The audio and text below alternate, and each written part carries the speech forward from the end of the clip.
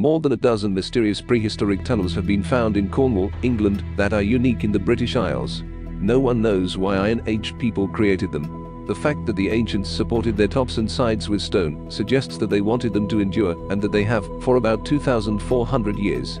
Many of the fogous, as they're called in Cornish after the word for cave, ogo, were excavated by antiquarians who didn't keep records, so their purpose is hard to fathom. The landscape of Cornwall is covered with hundreds of ancient stone, man-made features, including enclosures, cliff castles, roundhouses, ramparts and forts. In terms of stone monuments, the Cornwall countryside has barrows, menhirs, dolmens, kens and of course stone circles. In addition, there are 13 inscribed stones. Obviously, all of this monument building did not take place at the same time. Man has been leaving his mark on the surface of the planet for thousands of years, and each civilization has had its own method of honoring their dead and or their deities.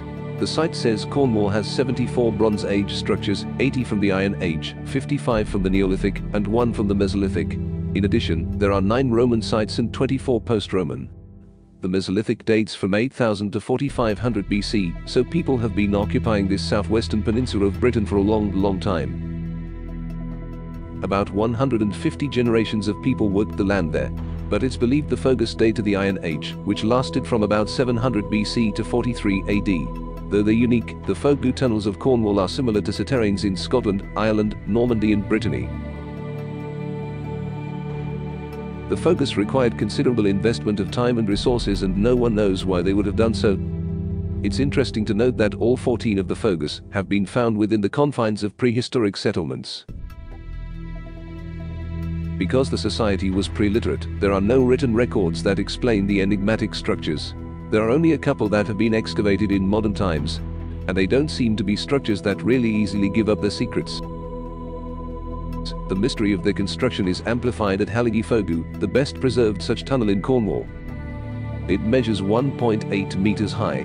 The 8.4 meter long passage narrows at its end in a tunnel 4 meters long and 0.75 meter tall.